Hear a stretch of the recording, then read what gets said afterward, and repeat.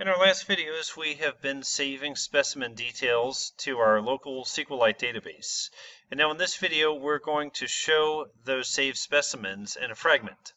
So first, I'm going to need to create a fragment, or actually rather a layout that will include a, flag, a fragment. I right click on layout, I choose new, and I'm going to choose XML, layout XML file. Uh, file name, we're going to say specimen show. Uh, that'll be good. Linear layout's fine, and I choose finish. One thing we want to think about is having one function occupy one screen. Instead of spreading one function over multiple screens, we want to allow the user to do everything required for one function in one screen. So what we'll do is we're going to start with a vertical linear layout. We'll drop that right across the top. That will allow us to put in an autocomplete text for a search criteria and then a button that follows. So I will go ahead and look for the autocomplete text. Autocomplete text view, there we go. I'll drop that onto our linear layout. Okay. And uh, I'm going to look for a button, and we'll put the button on the linear layout as well. Okay. Okay, that looks about right. Now, underneath that, we want to put a, a fragment. So I'm going to look for a fragment. And it's down at the bottom under custom. I'm going to drag this, and I don't want this to be part of the uh, vertical linear layout, but I want it to be part of the grander linear layout uh, that makes up this whole screen. We want a list fragment. A list fragment is a special kind of fragment that is meant to just show a list of data. So we select list fragment, choose OK. And it looks like, well, let's see. Looks like maybe we can drop it right down here. We can always fix it under the covers if we need to. Yeah, and sure enough, it didn't go exactly where I wanted. So uh, I'm going to take this fragment, I'm going to drag it up and just make it a direct child of our linear layout so that it goes, well, that didn't work either. Oh, I see. I need to take the autocomplete text view and the button and make them children of our inner linear layout. So I just drag those over like so. Now it still doesn't look exactly right. It looks kind of funny to be honest with you. So let's change the outer layout. Let's change its orientation from hor horizontal to vertical. Just a moment. And orientation, change to vertical. Now the inner layout, let's change from vertical to horizontal. And suddenly that gives us a little bit better view of what we want. The only trick is the inner layout is kind of squishing uh, our fragment down below. We want to change some of these properties. So layout height, let's change that to uh, wrap content like so. Okay, now you see that the linear layout at the top is only consuming the space required by the autocomplete text view and what's going to be the search button. Let's click on our fragment down below and let's change, uh, layout height match parent is fine. That means take up all the room that you can. Uh, layout width, wrap content, uh, that's not fine because you see it's kind of squished on the left side of the screen. Let's change that to match parent as well. And you see now that fragment that's going to be showing our plant results is consuming a whole lot more of the screen. So I choose save. Now we know a couple of golden rules. First of all, uh, we want to change the ID as quickly as we can of anything we're going to be programming against. So the autocomplete text view, let's look for the ID for that, and there it is. We're going to call this ACT search uh, parameter or something like that. ACT uh, search, ACT search is fine to be honest with you. Let's just leave it like so. The text inside, we're going to do a little trick here. Instead of having a separate label, we are going to uh, put the label right inside the autocomplete text view. So click the ellipsis, and we know this is a bit of an involved process, but we click the ellipsis, new resource, new string value, resource name, LBL search term, resource value, enter search term, and choose OK. Okay. Uh, now with this one, uh, we might want to do a little bit of uh, weight. You see, now that I have less text in there, it's not consuming as much space uh, horizontally. So what we can do is we can add a weight to this. I'm going to say layout um, weight. You see that set to 1. Let's bump that to 2. Okay, now our button, let's take a look at our button. Layout weight, that's not set. I'm going to set that to 1. What that does, typically, although it's not giving me the results I want now, what that does is that will basically have the autocomplete text take up 2 over the sum of 1 plus 2, so 2 thirds of the available space, and the button will take up 1 third of the available space. I might have to uh, trick that a little bit to get that to work, or I can maybe change the uh, uh, change the wrap content. We'll change this to uh, match parent. See if we can do a little trickery to get that to work. No luck yet. Not going to worry terribly about it. Uh, I think we'll get it to work okay. Um, so anyway, uh, new button, I'm going to select this and I'm going to choose ID. We're going to say BTN search. And once again, the label from new button, we're going to change that, go through the same process we went through before. Okay, new resource, new string value, uh, LBL search, search, and okay. And now we have the search term. Now for the fragment, if we look under the covers, we're going to see that it has a name Android app list fragment. What we want to do is make our own fragment class that extends from list fragment and put that in here. So I go back to project view and I'm going to go up to our package where we have all of our UI elements. Just a moment.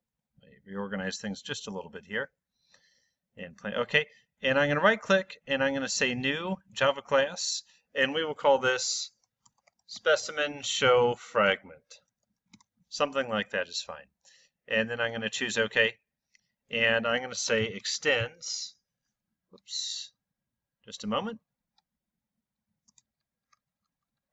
And then list fragment.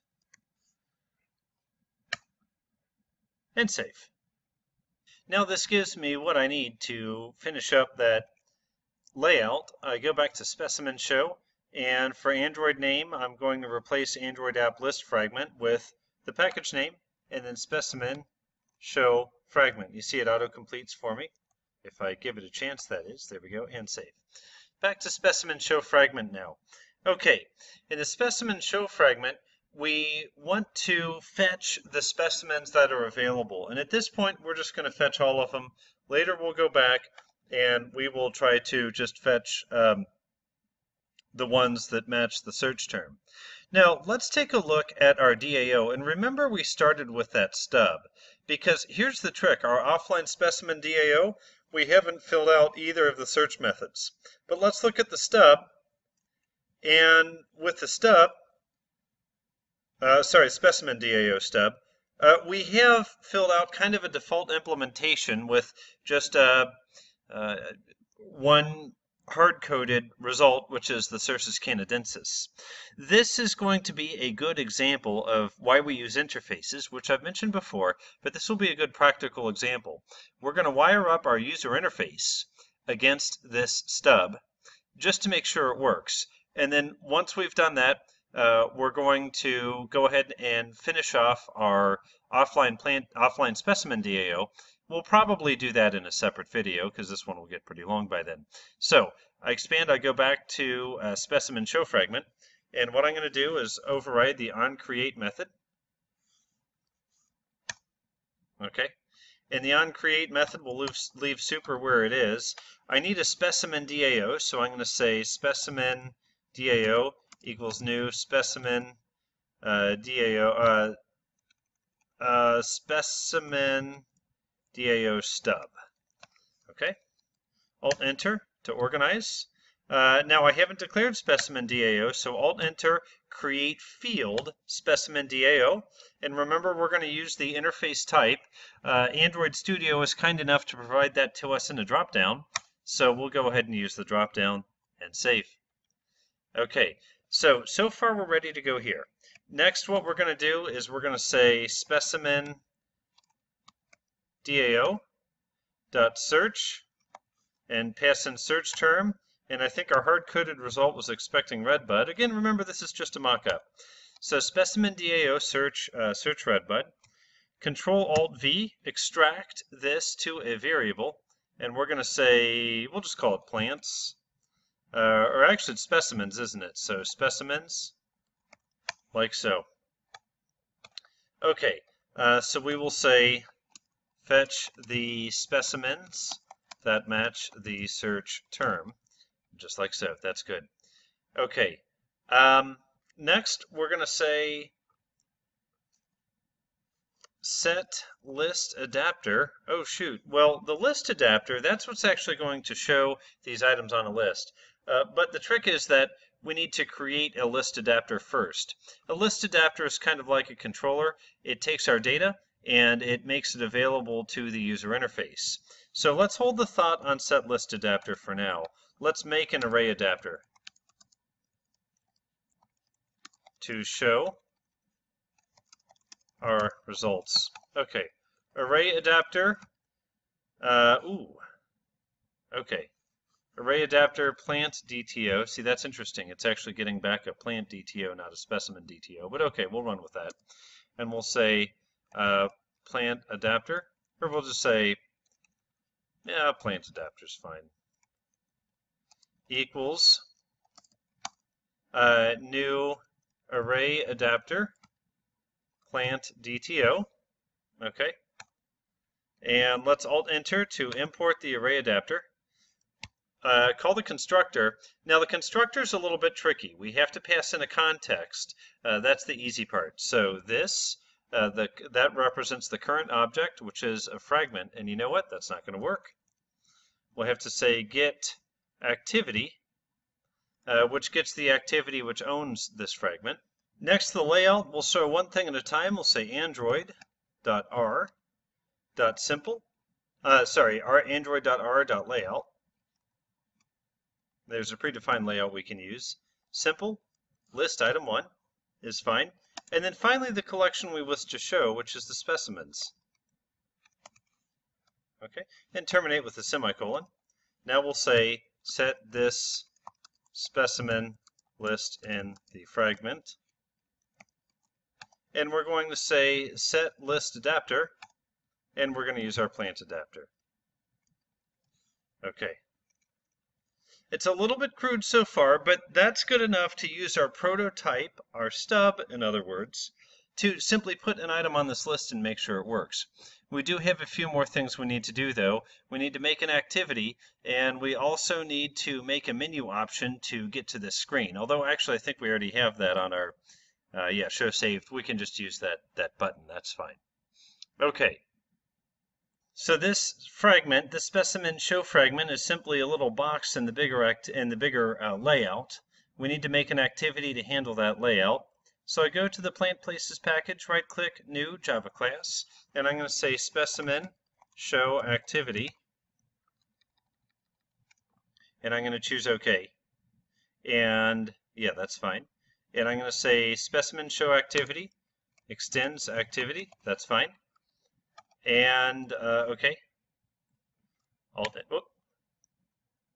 Alt Enter, organize imports. Not a whole lot I need to do here just yet. There'll be more when we wire up the search, but at the moment I just need to override the onCreate method, and I need to set. We'll go ahead and leave the super in there, and then we'll say set content view. Okay, and for this, we'll say r dot layout dot uh, what was the layout that we could specimen show specimen show. Okay, that wires up our layout, and I choose save. Now this is called specimen show activity. I'm going to take a look at our Android manifest. Android manifest, and we need to make an entry for the uh, manifest. Uh, simply make it an activity, just like we see here. So, activity Android name equals, uh, let's see, it gives us an option here, specimen show activity. Yeah, that's perfect. We're going to call this with an, uh, with an explicit intent, so we don't need an action or a category because we're going to explicitly say we want specimen show activity. And I choose save. I go back to GPS a plant, and let's remember the button we're going to click to see this specimen show activity. We're going to click on Show Saved. Let's see if we currently have anything wired up to that button. I uh, go to GPS a plant and I'm going to look for show saved and the on click is btn show saved clicked. So I copy this, I go back to GPS a plant, Control F, and we're going to see we do have a show saved click, and it's just a dummy implementation right now, something that we're just using to test things out. I'll remove that, and I'm going to add an explicit intent to invoke our specimen show fragment. Okay, an implicit intent. First, we need to define the intent. Intent, specimen, show intent equals new intent, and we'll say this, comma, and then specimen show activity dot class. Okay, we don't need anything back from this activity, so I'm just going to say start activity and specimen show intent. Uh, if I wanted a result back from this, I'd call start activity for result, but at this point, start activity is just fine. I choose save. We should be all set now. I've made a lot of changes, but we should be all set. So I will go ahead and start this in the debugger, and we'll give it just a moment. I did have to make one small backward compatible change. If we take a look at uh, specimen show activity, I simply changed the signature of the onCreate button. Uh, I'm sorry, the onCreate method in the supercall so that it would be compatible with my AVD version 19. In any case, I click on show saved and let's take a look at what comes up. We have our enter search term, and we know we don't have that filled out yet. As a matter of fact, we're going to have to have it clear when we click into that. But we hard-coded this. That's okay. And we have our search button. And take a look. Our Cercis canadensis came up from our stub or our prototype, the specimen, uh, the specimen DAO stub. That's great. That's exactly what the stub is for. So in our next video, what we're going to do is we're going to switch over to the actual uh, offline specimen DAO, in other words, the actual implementation. We'll fill out the search method, and then we'll see live results in our fragment. I look forward to seeing you then.